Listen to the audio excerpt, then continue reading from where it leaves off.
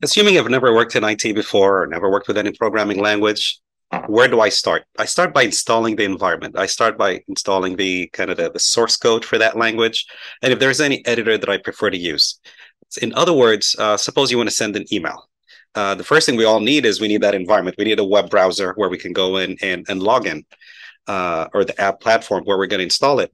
But once we do that, you can use different ways to send your email. So you you might prefer gmail.com, I might prefer outlook.com, somebody else might you know prefer yahoo.com to send our emails.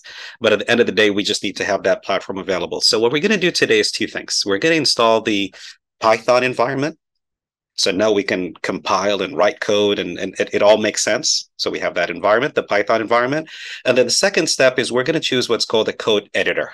So this is where we're going to write our code, and and and, and usually a code editor has additional features. So it has things like autocorrect or uh, you know syntax checks for you, and it shows you what line to go in and find the error messages.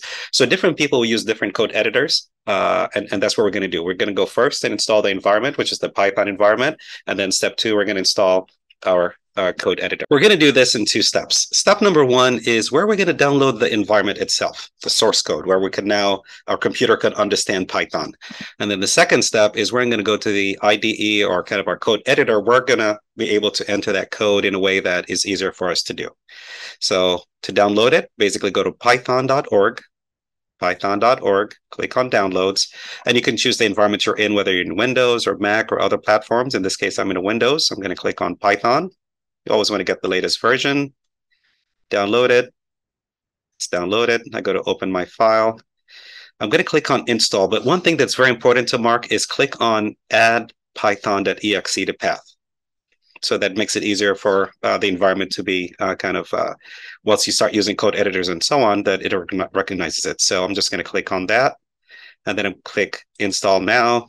It's going to let it run its course and it looks like we're all set up and successful. So we're just going to close it out. So now we're done with the Python installation. So we do have the environment on our PC and our computer. Next step is the code editor. So one that we're going to use is PyCharm, which is you go to jetbrains.com slash PyCharm. Over there, all I have to do is just click on download. There's two versions. There's the paid version, which is the professional, and then the community, which is free. For the purpose of this course, we're going to use the free version. So we're just going to click on download. It's going to take a little bit to download it. Now that it's downloaded, we're going to open the file.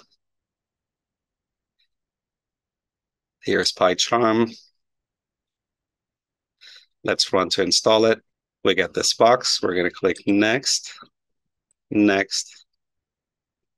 I'm just going to have this shortcut to make it easier to find it. Click next, install. And now we're going to run to install it. All right, once the installation is complete, we'll get this message.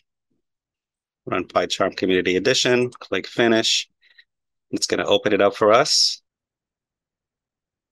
All right, and we're all set to go.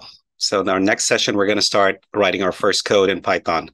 But just a quick reminder, I'm just going to close this out for now, that there's two environments. The first one is the Python itself, the source code. Once we do that, we go into jetbrains.com slash PyCharm to download our code editor. In the next session, we're going to start writing our Python code. Looking forward to seeing you guys. Thank you. Thank you, thank you, thank you for joining us in today's session. We hope that you enjoyed it. And we'd like to invite you to a lot of our free sessions. Simply visit our website at kinseytech.com slash events. Thank you again.